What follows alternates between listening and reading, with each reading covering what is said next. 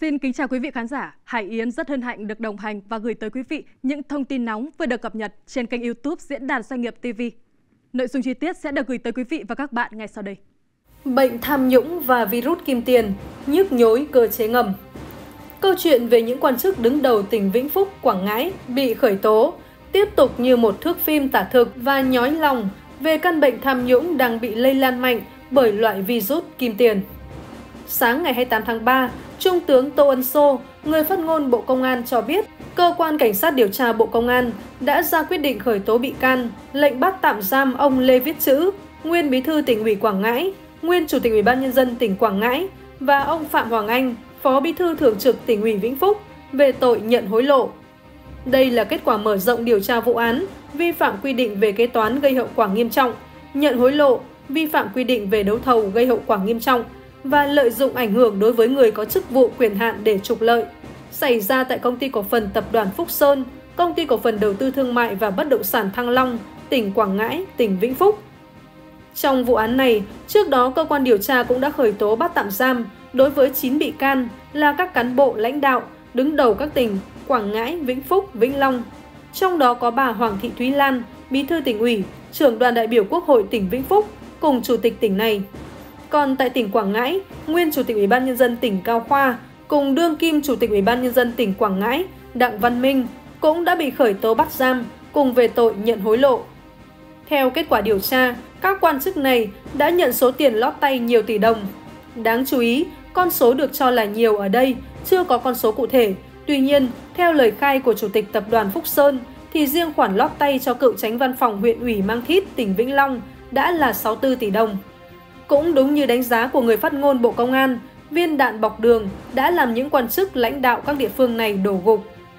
Cần phải nói thêm rằng, trước đó đã có rất nhiều đại án tham nhũng kinh tế, khiến dư luận phải ồn ào trong thời gian dài. Những sự việc diễn ra khiến nhiều người không khỏi ngán ngẩm trước những sự thật từ tảng băng chìm tham nhũng đang dần dần hé lộ.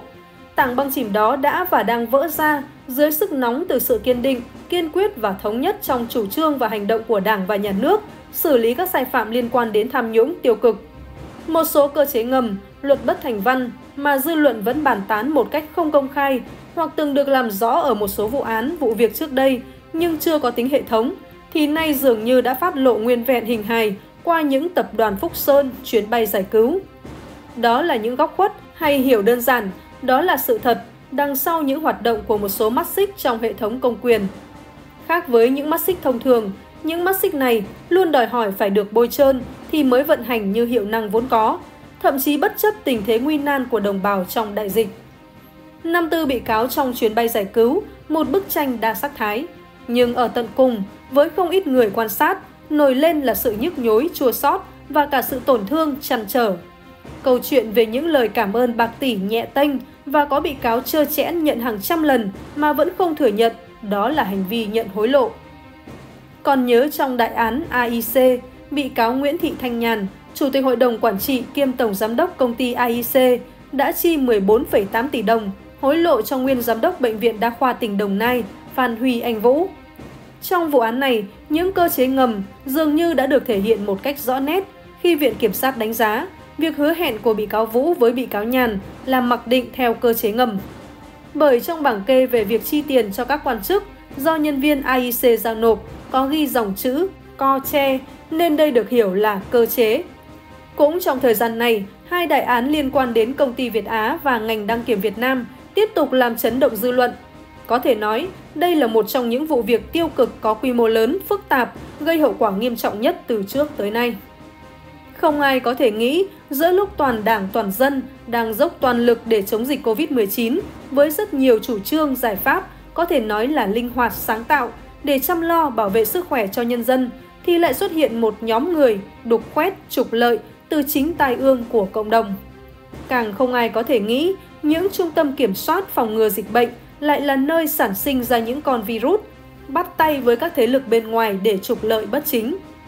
Đến nay, cơ quan điều tra các cấp đã khởi tố rất nhiều bị can liên quan, trong đó có cả nguyên ủy viên Trung ương Đảng và loạt quan chức thuộc Bộ Y tế, Bộ Khoa học và Công nghệ, cùng một hệ thống ngành dọc bao gồm lãnh đạo địa phương, ngành y tế và các trung tâm CDC của các tỉnh, thành phố. Còn trong nỗ lực làm sạch ngành đăng kiểm Việt Nam, cũng đã làm lộ sáng hàng loạt các cơ sở đăng kiểm có vấn đề.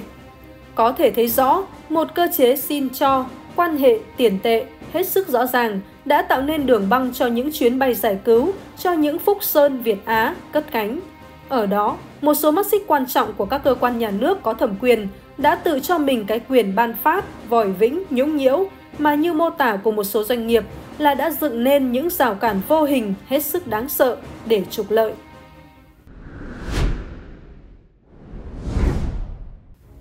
Thời gian gần đây, công tác xử lý tội phạm chức vụ tham nhũng ngày càng quyết liệt. Việc đấu tranh với nhóm tội phạm này đã và đang trở thành một xu thế tất yếu để làm trong sạch bộ máy nhà nước.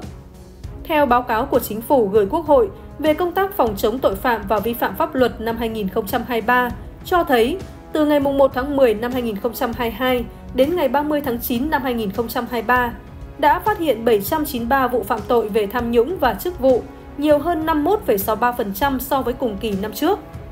Đặc biệt, số vụ nhận hối lộ tăng từ 32 vụ năm 2022 lên 143 vụ trong năm 2023, tăng tới 446,88%.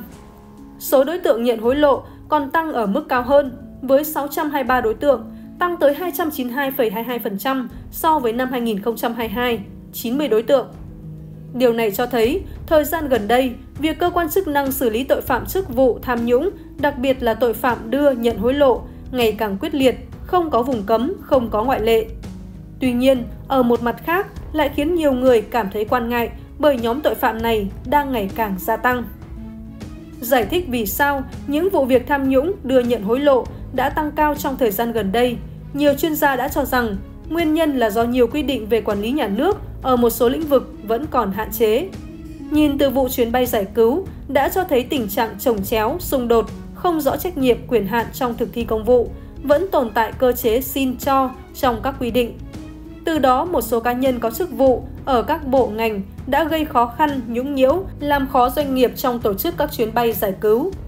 Khai trước tòa, có bị cáo từng là lãnh đạo doanh nghiệp cho biết, trong quá trình xin cấp phép các chuyến bay đưa công dân Việt Nam về nước thời điểm dịch COVID-19 bùng phát, thường bị các cán bộ liên quan gây khó dễ, cứ ngày mai bay thì hôm nay mới được cấp phép và không cấp phép nếu chưa đưa tiền. Rõ ràng, cơ chế xin cho, nhũng nhiễu, không minh bạch đã buộc doanh nghiệp phải nâng giá vé máy bay và các chi phí phát sinh khác để bôi trơn, đưa hối lộ.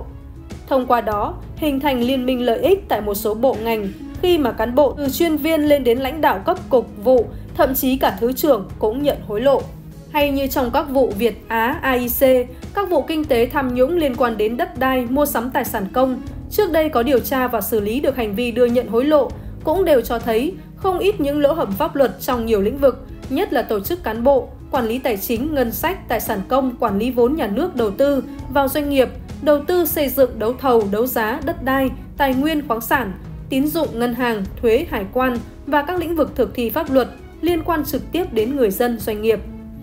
Điển hình như trong các vụ án vi phạm đấu thầu liên quan đến công ty AIC cho thấy rằng nhiều quy định liên quan đến hoạt động đấu thầu mua sắm công cần sửa đổi bổ sung như các quy định cụ thể về năng lực tài chính, buộc sử dụng báo cáo tài chính đã được kiểm toán của doanh nghiệp gửi cơ quan thuế, năng lực kinh nghiệm, nhân sự gắn với các điều kiện cụ thể, hợp đồng tương tự phải đầy đủ hồ sơ, chứng từ kèm theo, các thông tin về năng lực được đăng tải trên hệ thống mạng đấu thầu quốc gia, báo đấu thầu, để đảm bảo các đơn vị dự thầu là những đơn vị có đủ điều kiện tham gia gói thầu, hạn chế việc sắp đặt quân xanh dự thầu. Hay các quy định pháp luật trong lĩnh vực thẩm định giá cũng cần sửa đổi bổ sung để nâng cao vai trò, chức năng nhiệm vụ của các công ty hành nghề thẩm định giá gắn với quy định quản lý chặt kiểm tra, giám sát hồ sơ, kết quả định giá mà chúng ta thấy rõ qua vụ án Việt Á.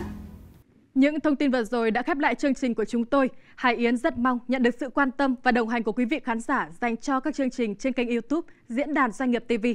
Quý vị đừng quên nhấn chuông theo dõi kênh để không bỏ lỡ bất kỳ thông tin cập nhật nào. Xin kính chào tạm biệt và hẹn gặp lại.